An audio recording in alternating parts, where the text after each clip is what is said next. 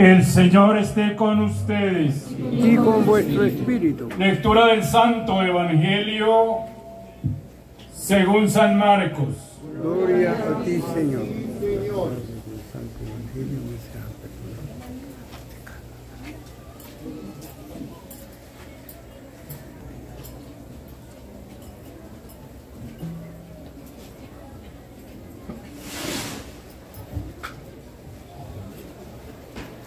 Tiempo, acercándose unos fariseos, preguntaban a Jesús para ponerlo a prueba.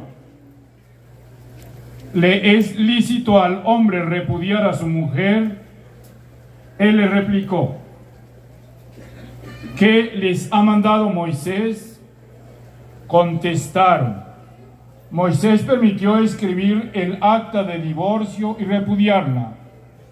Jesús les dijo, por la dureza de su corazón dejó escrito Moisés este precepto. Pero al principio de la creación, Dios los creó hombre y mujer. Por eso dejará el hombre a su padre y a su madre, se unirá a su mujer y serán los dos una sola carne.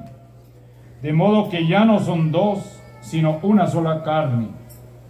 Pues lo que Dios ha unido, que no lo separe el hombre. En casa los discípulos volvieron a preguntarle sobre lo mismo. Él les dijo, si uno repudia a su mujer y se casa con otra, comete adulterio contra la primera. Y si ella repudia a su marido y se casa con otro, comete adulterio. Acercaban a Jesús niños para que los tocara, pero los discípulos los regañaban. Al verlo, Jesús se enfadó y les dijo, dejen que los niños se acerquen a mí, no se lo impidan, pues de los que son como ellos es el reino de Dios.